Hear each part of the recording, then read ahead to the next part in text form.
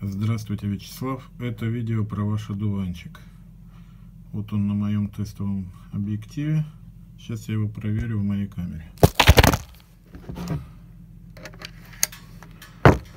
Смотрите, я запрограммировал фокусное расстояние 50 мм и диафрагмой, согласно таблице поправок, от 2 до 32. Вы всегда сможете перепрограммировать так, как вам будет удобнее. Но эта таблица не догма, а как бы руководство к экспериментированию.